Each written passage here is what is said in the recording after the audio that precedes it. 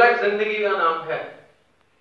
Forever के लोगों की सोच अलग है, उनकी बातें अलग है, उनके काम करने का तरीका अलग है। फॉरएवर के प्रोडक्ट दुनिया में बेस्ट है फॉरएवर कंपनी बेस्ट है फॉरएवर का सिस्टम बेस्ट है फॉरएवर के लोग बेस्ट राइट अब एक बात का ध्यान रखना आपने जब आज इस बिज़नेस में एंटर करते हो, मेरे सीनियर बोलते थे कि अगर आप सोने का व्यापार कर रहे हो, हीरे का व्यापार कर रहे हो ना तो रेडी में रख के मत बेचो हाँ जी क्या करूँ अगर आप रेडी में रखकर सोना लेके जाओगे गली गली के सोना ले लो सोना ले लो तो लोग ना डाउट करेंगे आप पर भी आपके सोने पर भी फॉरएवर जो प्रोडक्ट है ना वो करके नहीं देना किसी को आपने। सर ले लो। ऐसे करके नहीं, ऐसे करके देना सर ये आप लीजिए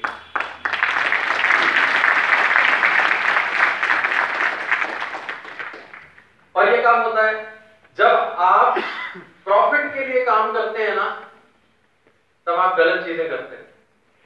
तब आप एक सेल्समैन बन जाते हैं। लेकिन जब आप किसी व्यक्ति विशेष का फ़ायदा सोचते हैं, उसके बारे में, उसके ड्रीम्स उसकी बॉडी उसकी हेल्थ उसका भला।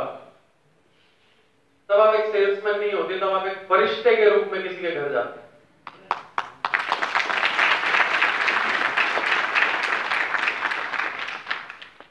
अगर आप अपने फ़ायदे के लिए बिज़नेस कर रहे हैं, लोगों की स्पॉन्सरिंग कर रहे हैं, लोगों को जोड़ रहे हैं तो ये जो इनकम आपको आ रही है, चाहे आप मैनेजर लेवल पे ही क्यों ना हो, चाहे आप एक लाख के लेवल पे क्यों ना हो, दो लाख के लेवल पे क्यों ना हो, ये टेम्परेरी है।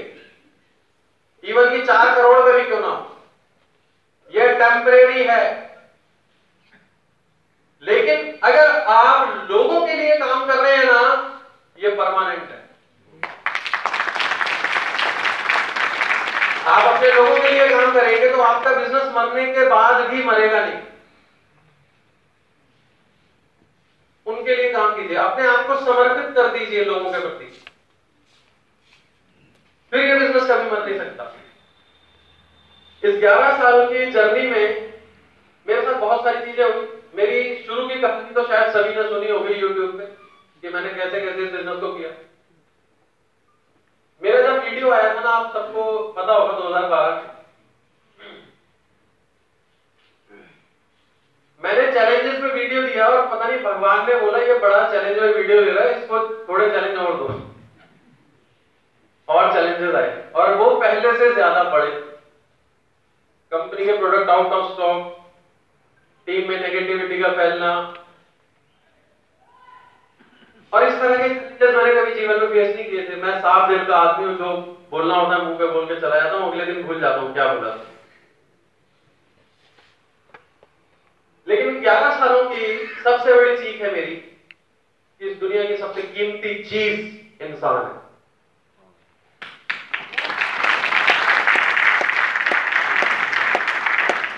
अगर मेरे विचारों से कोई भी मतभेद रखता हो तो प्लीज़ उसको पर्सनली ना दें। हर आदमी का एक अपना पॉइंट ऑफ़ व्यू होता है, एक सोचने का तरीका होता है और वो उसको बोलने के लिए आज़ाद भी है हिंदुस्तान में। तो मैं अपना एक पॉइंट ऑफ़ व्यू रख रहा हूँ। आप जिस रिक्शे में भी आए हो ना, उसके प्रति आपको आभारी रहना चाहिए। सवाल ये नहीं है कि वो बीस रुपए कमाता है। सवाल ये है कि वो नहीं होता ना तो आपकी माताएँ पहले पैदल घूम रही होती। उन्हें डॉक्टर के पास जाना होता तो डॉक्टर के पास जाने तक उनकी चोट से खून बह चुका होता। पर आज उस रिक्शे वाले की वजह से, उस बीस रुपए के आदमी की वजह से आपको सहूलियत है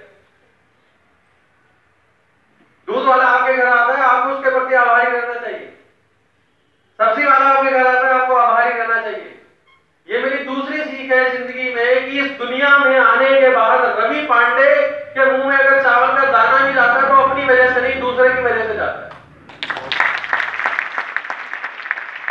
है इसलिए सभी के प्रति आभारी रहना चाहिए। कोई आदमी नौकरी करता है, दुनिया का हर काम अच्छा है। जो भी व्यक्ति काम कर रहा है, चाहे वो मोची हो, चाहे वो जॉब कर रहा है, चाहे वो बिज़नेस कर रहा है, कैसे भी वो अपना पेट पाल रहा है, वो एक अच्छा इंसान है। तो उसकी इज़्ज़त करें। और अगर सोचो आप एयरपोर्ट आज हम लोग इंटरनेशनल ट्रेवल करते हैं, अगर हम पासपोर्ट लेके एयरपोर्ट जाते हैं और वहाँ कोई सर्विसमैन ना बैठा होता तो हम क्या करते आप बैंक आपके पैसे बैंक में आते हैं। आप चेक लेके बैंक जाते हैं। वहाँ पे कैशियर ना बैठा होता, आप क्या करते आपको सुबह ट्रेन पकड़नी है, दिल्ली जाना है। आपके पाता पिताजी बीमार हैं, वहाँ पे पहुँचते और पता लगता है जी ड्राइवर की आज नानी बीमार है तो वो थोड़ा लेट आएगा। कैसा लगता? तो मैंने ये सीखा है कि हम सब ना दूसरों पर निर्भर है पूरे तरीके से। हाँ जी? आप हैं तो मैं हूँ और आप नहीं तो मैं भी नहीं तो ये दूसरी चीज़ है कि जब आप दूसरों को महत्व देंगे इज़्ज़त करेंगे तो बदले में आपको वही मिलेगा। लोग आपको महत्व देंगे लोग आपकी इज़्ज़त करेंगे। आप दूसरों को चीट करते हैं, दूसरों को कुछ चेरने की कोशिश करते हैं, दूसरों का फ़ायदा उठाने की कोशिश करते हैं, घूम के कहीं ना कहीं आपके पास भी वही आएगा। क्योंकि हर शेर के लिए समाज के भगवान ने बनाया हुआ है। आपको भी वैसे ही मिल कोई। आपका एटीट्यूड जो है वो गिविंग एटीट्यूड है। आप अपने लोगों की केयर करते हैं, उनसे प्यार करते हैं, उनके फ़ायदे के बारे में सोचते हैं, उनके लिए काम करते हैं, आपको भी बदले में वही मिलेगा। ये मेरी लाइफ की दूसरी चीज़ इस बिज़नेस में आने के बाद तीसरी चीज़ जो महत्वपूर्ण मैंने अपनी लाइफ में रियलाइज़ की कि उसका होना बहुत ज़्यादा ज़रूरी मतलब ऑर्डिनरी से एक्स्ट्रा ऑर्डिनरी की जो जर्नी है, उसके लिए एक चीज़ का होना बहुत ज़रूरी है। कितने लोग ऑर्डिनरी से एक्स्ट्रा ऑर्डिनरी बनना मेरी जो सीख है ना, जो व्यक्ति आज एक लाख कमा रहा है, वो दस लाख एक करोड़ कमा सकता है। जो दस हज़ार पे वो एक लाख पे आ सकता है, जो एक लाख पे वो दस लाख पे आ सकता है, जो दस लाख पे वो एक करोड़ पे आ सकता है। अगर उसके पास सही कोच हो, और वो अपने आप को कोच के प्रति समर्पित कर दे हमारी देशी भाषा में बोले तो गुरु। जिसके पास एक सही गुरु है, उसका मार्गदर्शन है, और वो अपने आप को गुरु को समर्पित कर चुका है।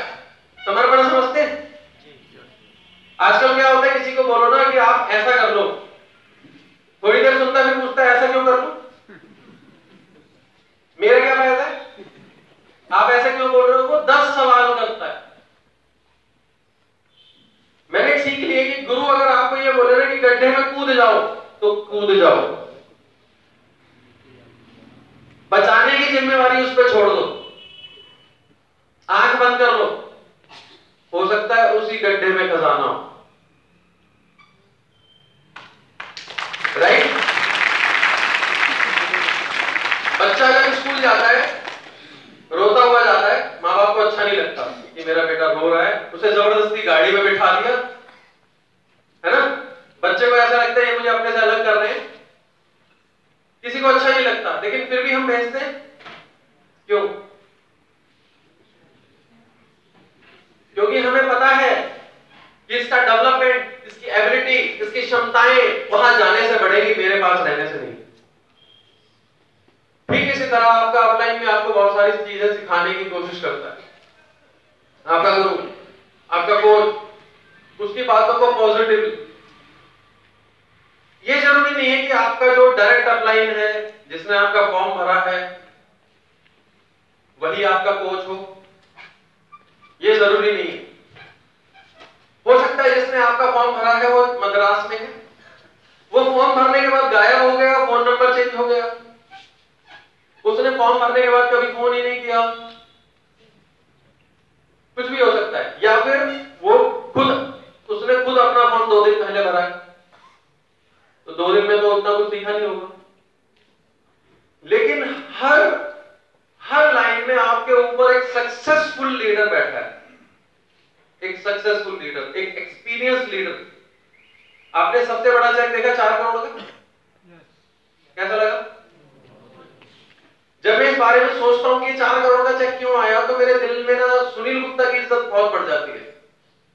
क्योंकि सुनील गुप्ता जी ने टीपीएस बेदी अरुण सुराना को नहीं पाला होता तो सूर्य सिन्हा पैदा ही नहीं होता।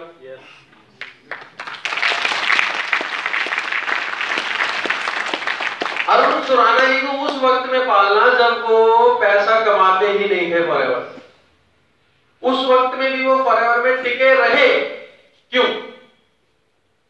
एक आत्मविश्वास दूसरा आपने गुरु पे विश्वास। हर व्यक्ति की कहानी देखो, वो पॉजिटिव था। मैंने एक शेर लिखा है। सुनना चाहेंगे आप लोग मेरा अपना लिखा हुआ है। लिख लेता हूँ कभी। हवा का रुख कभी तो हमारा भी होगा। हवा का रुख कभी तो हमारा भी होगा। तूफ़ान के इस समंदर का कहीं तो किनारा भी होगा। कश्तियों का साथ मत छोड़ना। उम्मीद की कश्तियों का साथ मत छोड़ना। जितना काला है रात का अंधेरा, उतना ही हसीन सुबह का नज़ारा भी होगा।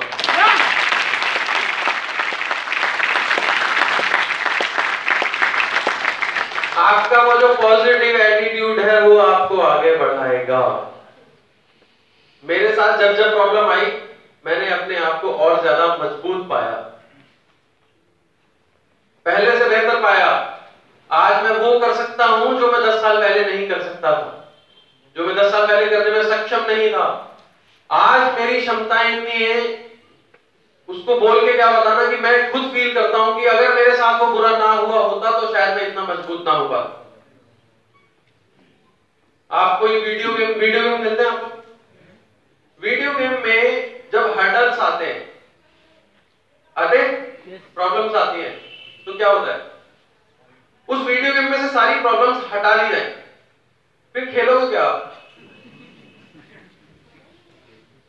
फिर मज़ा नहीं आएगा लाइफ भी ऐसे ही अगर प्रॉब्लम्स नहीं आती तो रवि पांडे कैसे साबित कर पाता कि मैं एक अच्छा लीडर हूँ? हाँ अगर आपकी लाइफ में प्रॉब्लम्स नहीं आएगी तो आप कैसे प्रूव कर पाओगे कि आप पे दम है?